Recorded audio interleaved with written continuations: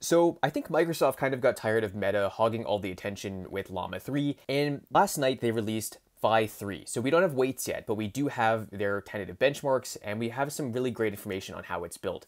So what did Microsoft release? They released Phi 3 Mini, a 3.8 billion parameter model that roughly rivals the performance of Mixtral 8 x 7b, and they released Phi 3 Medium, which is a 14 billion parameter model trained on a few more tokens and this has a really impressive MMLU score. And the most impressive thing for me that I think kind of came out of nowhere is the fact that, yes, obviously it's much more performant than Phi 2, but it's also handily outperforming Llama 3 Instruct in a few comparisons of selected tasks. Now, what selected tasks are, we'll get to that just a bit later, but the fact is, it's really interesting to see how well this model is performing. And it's great to see that Microsoft is still keeping up. It seems like the only real loser here is really Mixtral with their Mixtral 8x22b model. I'm kind of slowly falling behind. So how is this model different from Phi 2 and Llama 3?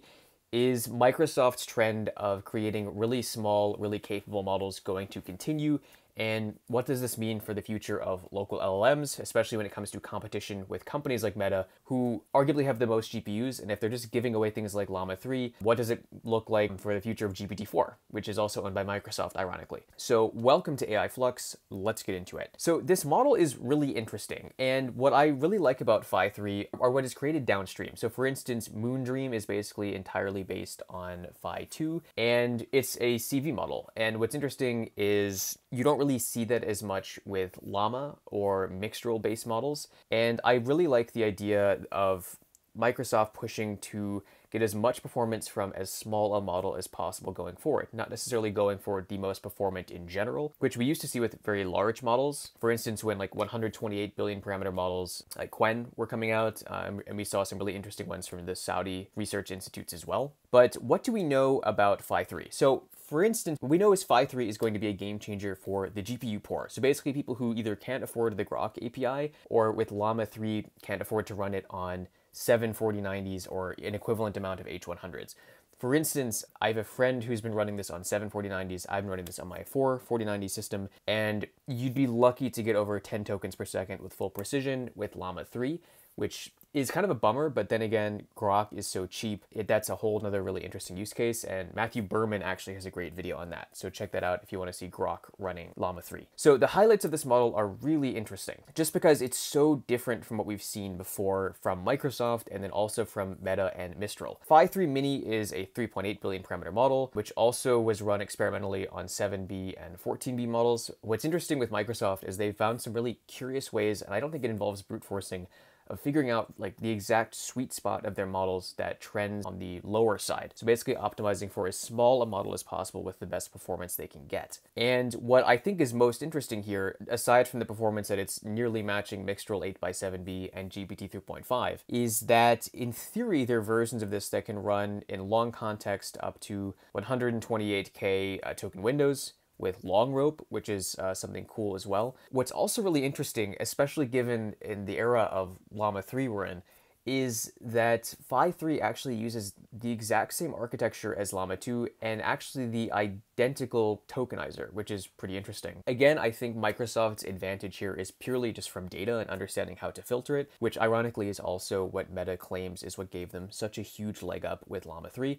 So for instance, um, they use heavily filtered web data and synthetic data. They also have kind of an internal data optimal regime for training, which doesn't really mean much to most of us. But basically all that means is they have better quality tokens coming out and they DPO'd it to be safer. So that's kind of the, the biggest difference between this and Llama. Um, they're pushing it to be safer. You know, it's a weird thing to say because Microsoft isn't necessarily a larger company than Meta in terms of the number of users of these models but I think that's more of a branding thing than a, something they're actually concerned with. There's actually a quantized version or a 4-bit model that should take less than 2 gigs of RAM. For instance, you can run this right now on an iPhone 16 and get 12 tokens per second, which is more tokens per second than my 4090 machine gets running Llama 3 which is kind of funny. It doesn't do well with factual information, which for me poses very large questions as to how usable this model is, especially when comparing it to Llama 3. And it's kind of the one thing that I would question when you compare this to Llama 3 Instruct, which is if it doesn't do well with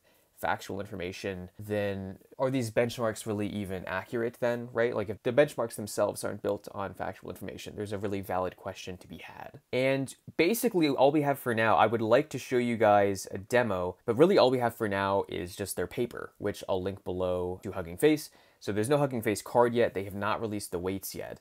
Uh, there's actually not even a way to directly interact with this model. We're just going off of what Microsoft has told us. So obviously this is going to be a little bit biased in terms of Microsoft's favor right now. And the big takeaways here for me are basically that it's funny that Microsoft and Meta basically applied really similar optimization techniques and, and just strategies in terms of making these models better.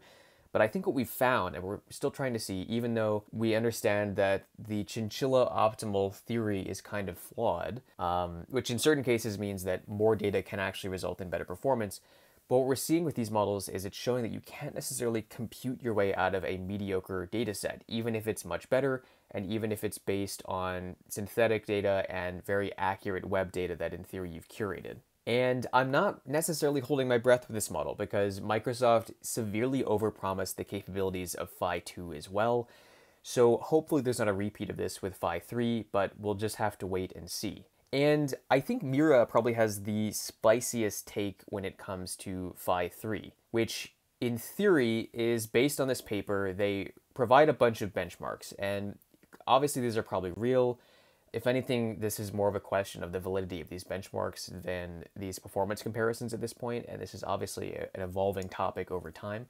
But Mira basically says here that um, 5.3 Mini obviously matches Mixtral 8x7b and GPT 3.5.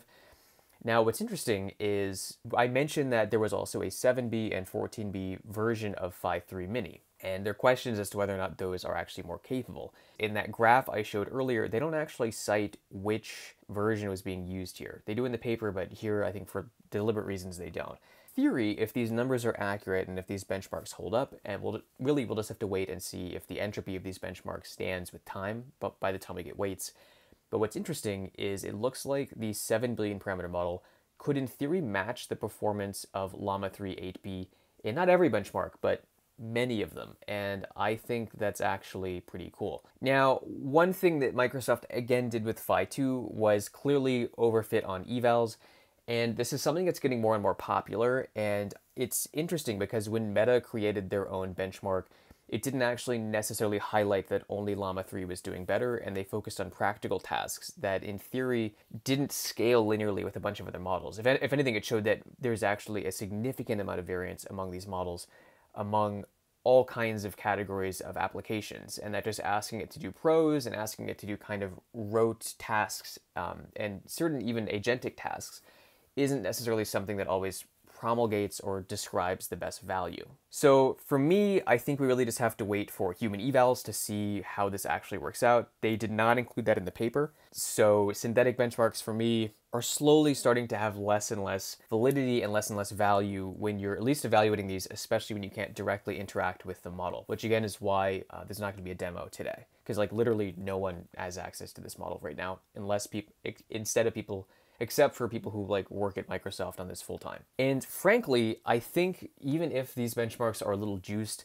the the biggest feat of this um, of this era, right, or if you say of Q2 2024, or whatever you want to call it, I don't think is actually Meta beating a GPT-4 class model, but it's doing it with you know an overtrained 70B model that you can probably run on consumer hardware with ease. So again, I think Microsoft probably isn't going to get enough credit for making all this run on relatively available consumer hardware um, and even on mobile devices.